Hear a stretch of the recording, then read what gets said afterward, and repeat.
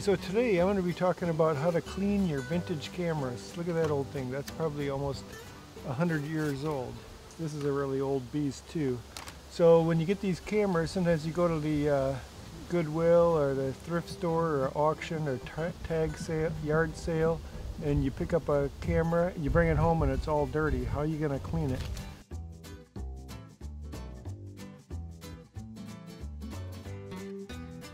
It's my camera cleaning kit. So with a kit like this, you can clean a lot of vintage cameras. If you don't have the tools, you can't do the job. The way that I start is with a cotton cloth. This is part of an old t-shirt with warm soapy water. That's the first. So you want to go and just wipe off the top layer of crud and grunge things sitting around in closets and basements and garages and storage units. They get all covered with dust and who knows what. So you just want to take the top layer of dirt off. That's pretty easy. Uh, old t-shirts are what I like. It's nice soft cloth. You want to make sure that it's not a piece of a cloth that has a button or a rivet that's going to scratch something. So that's your first layer. Another very useful item is credit cards. Take an old credit card and you cut it up like this. There it is. And what you're going to do with the credit card is you can make uh, sharp points on there and if you need to get in some little nook or cranny is always a difficult spot to get. So if you put your cloth over a pointed credit card, you can get in there in a nice little space. That's a neat trick. And as you need more little spots, you just keep slicing up your credit cards. And you know what? That's the only use I have for credit cards at this point in my life. Another thing is a blower. Dust off some of this dust, especially for lenses. So um, when you're using this, it's going to blow the parts of dust loose.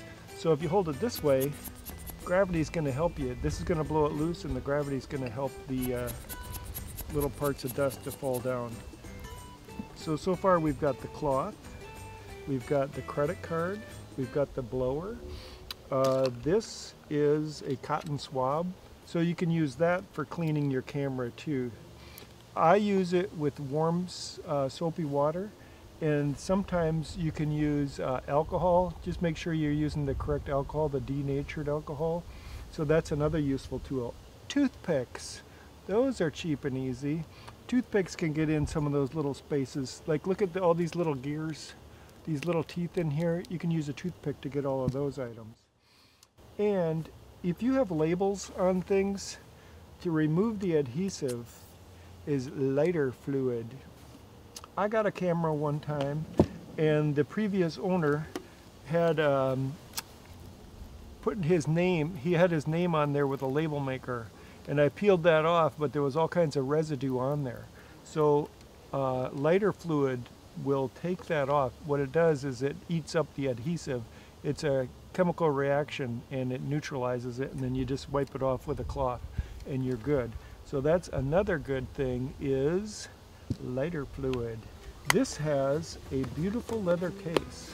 And for cleaning the leather cases, what I prefer to use is some saddle soap and then I'll use some shoe polish to clean in the brown spots. So some of this, the brown has been removed. It's worn off over the years.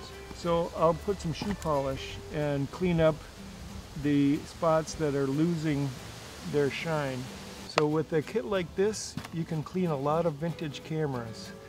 All right, so that's your tips on how to clean vintage cameras.